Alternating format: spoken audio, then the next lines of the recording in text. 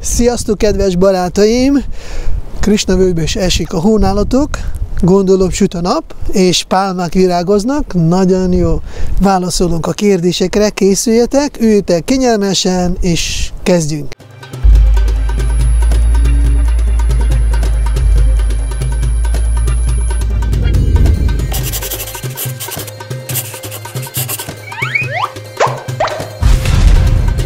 Első kérdés, amelyekre megválaszol, úgy hangzott, hogy hogyha valakinek van, közben egy mikrofon, remélem nem fog megzavarni a szél, hogyha van valakinek házi kutyája, vagy macskája, és ő már halálosan beteg, akkor szabad-e eloltatni, ne szenvedjen tovább a kis, hogy mondják, jószág, a drága jószágunk. A válasz, hogy nem kedvező, nem szabad, nem kell elaltatni. Neki is van egy karmája, amelyiket éli a kutya vagy a macska, és akkor karma szerint kapta egy betegséget, és hogyha mi megölünk, mert gondoljuk ne szenvedjen, ezzel segítünk, ehhez mi csak ártunk neki, azért, mert utána újra kell születni, ugyanebbe a testbe, és kell újra átszenvedni ezt a betegséget. Ugyanúgy, mint a szüleink, vagy valaki rokonunk, vagy barátunk, hogyha szenved betegségtől, akkor nem fogunk eloltatni, nem, nem is szabad, mert ez bűnnek is számít. De ugyanúgy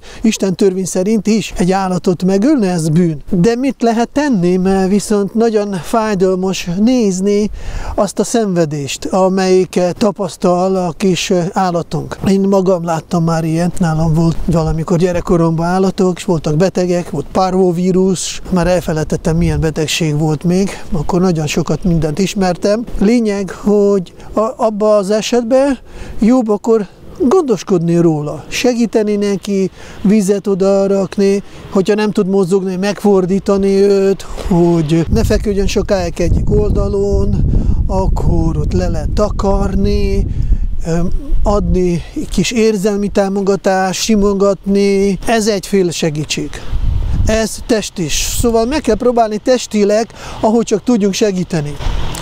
De ennél sokkal jobb, az a lelki segítség. Múltkor egyik videóban meséltem, hogy embernek hogy kell segíteni, amikor ő már az utolsó pillanatokat éli, ugyanúgy az állatoknak is lehet segíteni. Hogyha mi mondjuk elaltatjunk kutyát, macskát, akkor mi rosszat csináltunk. Így pedig, hogyha mi lelkileg is segítünk, mindjárt elmondom, mi, hogy lehetne, akkor következő születéskor kaphatja emberi testet. Mert mondjuk kutya, macska után rögtön nem lehet kapni emberi test. Még át kell menni egy pár szinten, szóval van csak egy pár állat forma, amelyek után lehet ember, de kutya, macska nem áll azon a szinten, az kicsit lejjebb van. Akkor mit lehetne? Hát lehetne énekelni Hare Krishna mantrát. Lehet imádkozni úgy, hogy ő halljon ő mellette énekel a mantrát. Hare Krishna, Hare Krishna, Krishna Krishna, Hare Hare, Hare Rama, Hare Rama, Rama Rama, Hare Hare.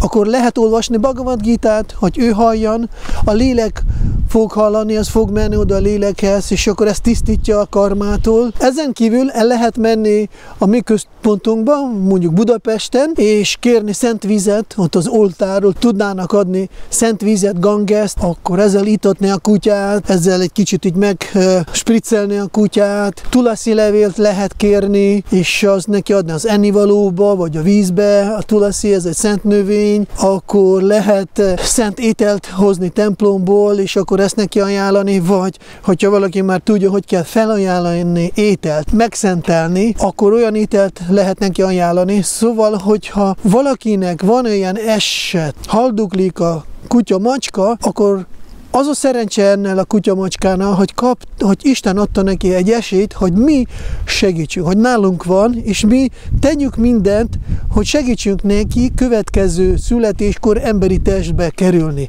Ez a legjobb, ez a legfontosabb, amit mi tudjunk segíteni a mi házi állatunknak. Következő kérdés arról szólt, hogy miért kell aludni jobb oldalon. Valaki alszik bal oldalon, valaki hanyalta alszik, valaki hasan alszik, és mi az oka annak, hogy jobb oldalon aludjunk? A válasz a következő. Itt most egy kicsit a jogát és az ajurvédet fogunk használni, ezt a tudást. Lényeg az, hogy az embernek a gerinc mellett két oldal, van két csatorna, ide és a pingala. Ezen a csatornán áramlik kétféle energia. És egyik energia hűt a szervezetet, a másik energia fűt a szervezetet, és amikor bar ollukon lélegzünk, akkor az le fog hűteni a szervezetünket. Amikor a jobb ollukon lélegzünk, akkor a szervezet fel van fűtve.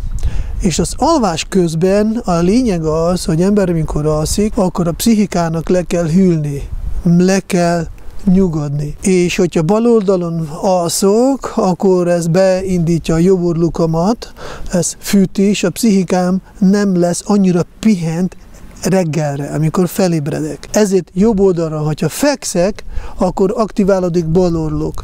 Hogyha a bal oldalra fekszek, aktiválódik jobb orlok. Ezért sokan is írtak a kommentekben, hát én hallottam, hogy evés után bal oldalra kell feküdni. Igen, hát evés után bal oldalra le kell feküdni, de nem szabad elaludni, mert hogyha én bal oldalra lefekszek evés után 20 percre, akkor aktiválódik a jobb orlukom, és akkor ez beindítja a fűtést és az emisztést. De amikor aludni akarok, és ki akarok pihenni magamat teljesen, a pszichikánk legyen újra feltöltve, az elmém, ezért jobb oldalra lefekszek, és bal orlukon kezdek lélegezni, és akkor ember megnyugszik. Telehassal nem lehet így feküdni, mert akkor nagyon rosszul elmegy az energiánk, ezért nem jó sokat tenni éjszakára. Ami még érdekes ezzel kapcsolatosan, hogy amikor még óvodába jártam, ez nem Szovjetunióban volt, nem tudom ez hogy csinálták, de ott, amikor délután lefeküdtünk, akkor mindig mondták, és akkor minden kis gyerek